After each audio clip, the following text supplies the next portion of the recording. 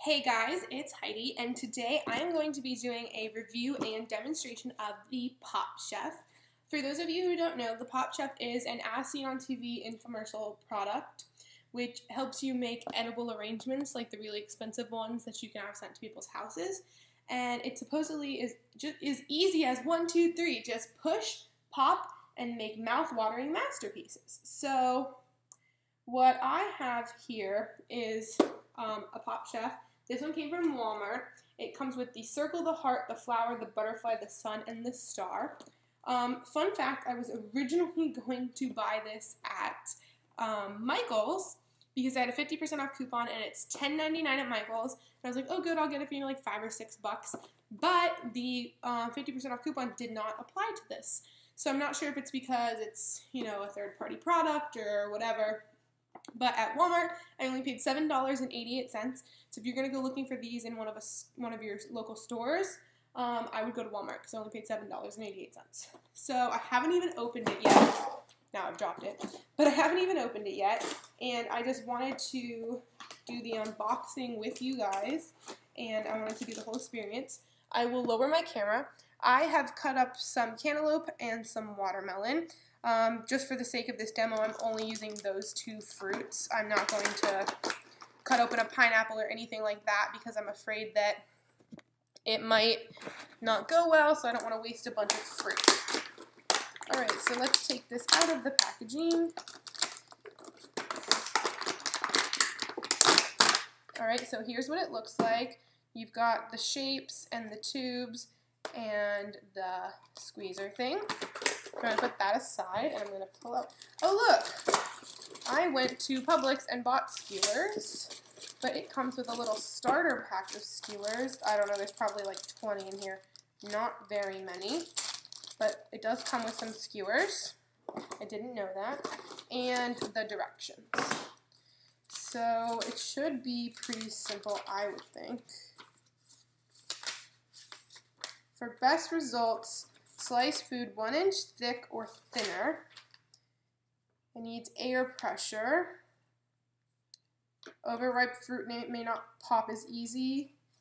If, the, if it gets stuck, you use a skewer to get it out. Okay, simple enough. Well, let's just use the heart, which is already on there, just like this. This is what it looks like you squeeze to get it out. It's just suction. Um, so yeah, let's give it a shot. I'm just going to stick it into this piece of cantaloupe. Let me... And from what I have seen, um, if you like stack them up, it comes out easier. So let's do a couple.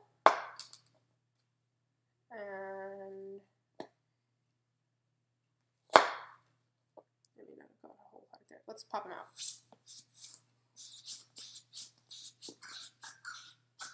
So they did come out with the exception of one. There's one still stuck in there.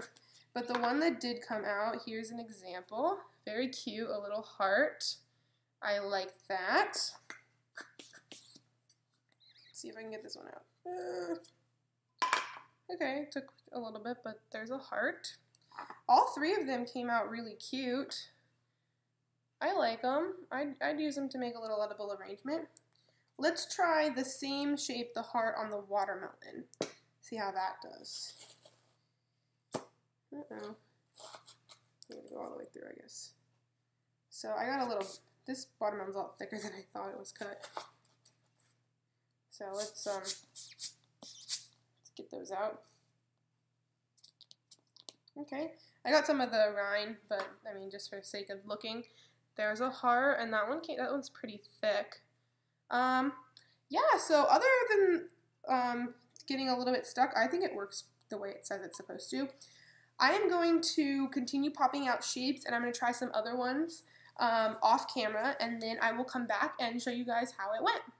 Okay, so I've popped out a few more different shapes. I tried the heart, the star, and the butterfly. And I will let you see my plate of shapes here. Um, I can tell you one thing. my watermelon was definitely overripe, at least for this project. Which I'm not sure what, what I think about that because if your watermelon is hard and dry, it's not going to taste very good. So I'm not sure what I think. But um, I'm not making an edible arrangement today, but for the sake of showing you, I'm going to try to skewer some just to see how they hold up because I honestly feel like these really soft watermelon pieces are just going to slide. But we'll see. Um, I did have issues with the star mold. You can see I only have one cantaloupe star, and that's because the other two got stuck, and I had to get them out with a knife, and they fell apart into pieces. So, yeah. See, this is what I'm worried about. See this? Watch. This is just gonna... It's, yep, yeah, yep, that's what I thought was gonna happen. It's not gonna hold up on a skewer because it's so ripe and watery. But I think the cantaloupe will because it's nice and firm. So maybe this would be better with like pineapple and cantaloupe and even like mango maybe. I'm not sure. Let's try one of the more sturdy pieces. And you know, I guess you could always wedge the watermelon between two pieces of cantaloupe. You know, just start and finish with cantaloupe for the sake of your own sanity. Um, yeah, I don't have any more shapes. See how this one was so thick that it just kind of like split apart? That's not going to work. This one's really thick, but I don't think it's going to break. These are pretty heavy. Alright, and let's finish with a cantaloupe butterfly.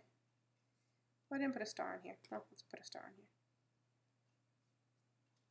So that's what a skewer would look like. I do think it's very cute. I think it is true to what the box shows and true to like the infomercials on TV.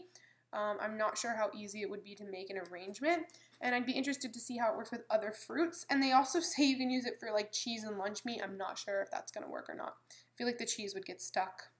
But yeah. Um,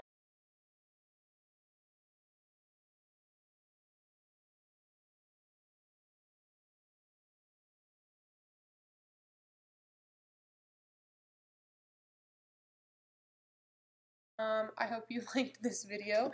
I hope you found this helpful. Um, if you buy the Pop Chef, definitely get it at Walmart because it's cheaper. I think it's cute. Kids would like it.